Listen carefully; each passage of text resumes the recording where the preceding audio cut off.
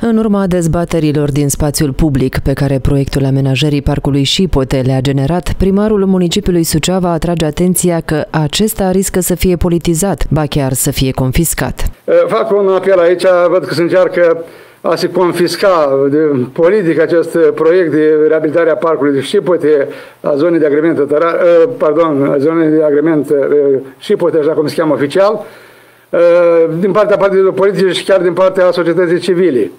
Văd uh, reprezentanța societății civile care încearcă, care mai din care importanța, că ei au un merit deosebit în uh, acest proiect. Eu o spun foarte clar aici și trebuie să dăm cezarul, cezarul așa cum spune la Biblie. Totuși, uh, meritul în primul rând este al municipalității, așa cum se știe, de 15 ani de zile m-am bătut, m-am zbătut să aduc parcul și la Ceava, am reușit, sigur, nu singur, am mulțumit la vremea respectivă celor care m-au ajutat. Dar uh, eu zic să nu-l politizăm, să nu încercăm să ne-l uh, asumăm și nu ascund din uh, partidii politice care se prezintă în Consiliul Local să facă uh, ei inițiativă de proiect de hotărâre. Proiectul de hotărâre va fi făcut la inițiativa primarului și sigur, dacă vor fi și grupuri de consilieri, vor fi și ele pe acest uh, proiect de hotărâre. De aceea fac un apel să facem o treabă bună ceea ce ne-am propus la Parcul și Puter și să lăsăm această asumare de merite și confiscare în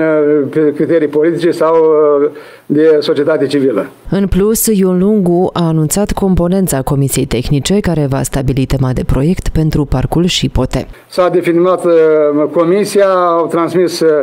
cei de la uh, Universitate reprezentantă domnul Cezar Valentin Tomescu, de la Ordinul Arhitecților doamna Roncea Corina Manoli Florin și a domniții Bogdan, membrii titulari, domnul Oltean Alexandru și Kosovan Iulia, membrii de rezervă, din partea Direcției Silvice, domnul Ovidiu Morari, din partea Direcției pentru Cultură, domnul Aurel Buzincu, din partea societății civile, două persoane, Alino Pincaru și Sânziana Râșca, plus cei de directori din primărie, de la Direcția de Urbanism,